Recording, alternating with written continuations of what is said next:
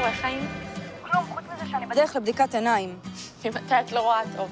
מהרגע שראיתי את התמונה שלך יחד עם ה... תרגיעי. אני לא יודעת מאיפה להתחיל. מהחצקון הדם הזה שדפוק לך שפתיים, מזה שעוד מעט חוזרים לבית ספר ואני לא רוצה להתחיל לחשוב על כמה הסברים את תצטרכי לתת, או מהעובדה שאני החברה הכי טובה שלך. שירן. היחידה שהסכימה לשחק. בטח שהוא הולך קינים בכיתה א', זאת שהחזיקה לך את השיער שאכלת סלמית שביצים מקולקל בטיול השנתי לסטף, האיש שעשית את השבוע דם שלא יהיה לכם סודות לנצח נצחים. סיימת? כן. יופי, כי... למה אני צריכה לגלות מהאינסטה שאת מאוהבת בבצק סוכר הזה. אני לא מאוהבת בו. אז סתם נפלת לו לשפתיים.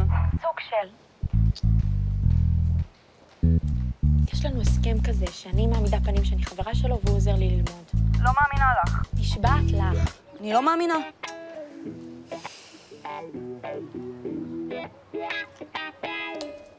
נשבעת לך, מה את לא מאמינה? תסתכלי לי בעיניים ותראי שאני לא משקרת. ממש לא חבר שלי, יש לנו הסכם כזה, שאני עושה את עצמי חברה שלו כדי שהוא ירגיש מקובל ושיאהבו אותו.